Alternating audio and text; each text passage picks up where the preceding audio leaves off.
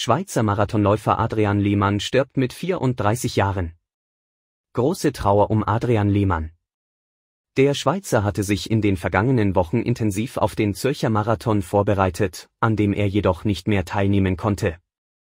Er hatte im Training am 18. April einen Herzinfarkt erlitten und erlag am Samstag dessen Folgen.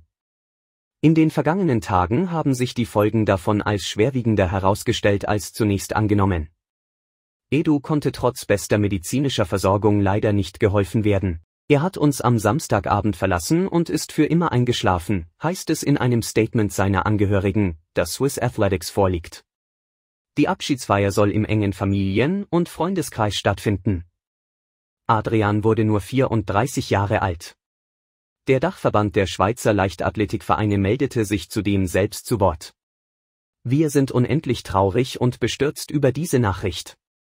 Wir sprechen der Familie und allen Freunden von Edu unser tiefstes Beileid aus und wünschen ganz viel Kraft in dieser schweren Zeit, sagte Christoph Seiler, der Präsident von Swiss Athletics. Auch in den sozialen Medien bekundeten viele Menschen ihr Beileid. Was für ein Schock. Es war mir eine Freude, dich kennengelernt zu haben. Mein herzliches Beileid an alle Familienmitglieder und diejenigen, die ihm nahestanden, kommentiert ein User auf Instagram. Adrian hatte große Ziele. Der Sportler hatte gehofft, sich beim Zürcher Marathon für die Olympischen Sommerspiele zu qualifizieren, die in diesem Jahr stattfinden. Im vergangenen Jahr wurde Adrian bei dem Zürcher Marathon Schweizer Meister. Mit zwei Stunden, elf Minuten und 44 Sekunden legte er seine persönliche Bestzeit hin.